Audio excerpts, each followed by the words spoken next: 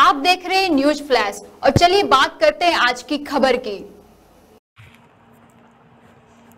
अब खबर दौसा से।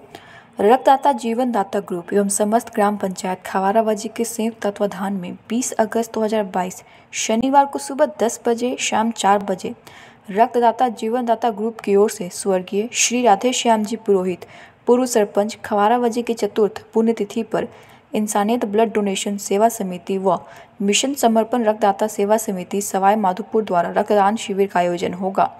ग्रुप मीडिया प्रभारी कालूराम मीना ने बताया कि खवारावजी पंचायत में यह पहला रक्तदान शिविर आयोजित किया जा रहा है। संस्था के शिविर संयोजक पावन गोमलाडू घर घर जाकर रक्तवीरों को रक्तदान के लिए प्रेरित कर रहे हैं।